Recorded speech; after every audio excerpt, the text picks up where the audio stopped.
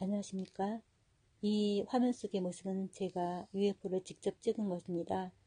그리고 이 UFO를 살펴보면 색깔은 너무나 우아하고 아름다운 색을 가지고 있고요.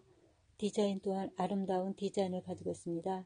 그리고 여기에는 외계인이 한 명 보이는 듯한데요.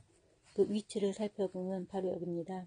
모자 쓰고 하얀 수트를 입고 앉아있는 외계인 모습이 살짝 보이는 것 같습니다.